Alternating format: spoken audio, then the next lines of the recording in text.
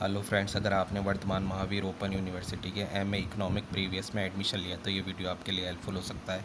इसमें हम आपके लिए लेके आए paper code M A E C zero four परिमा, परिमाणात्मक विद्या का असाइनमेंट कैसे बनाना है तो अब वीडियो शुरू करते हैं।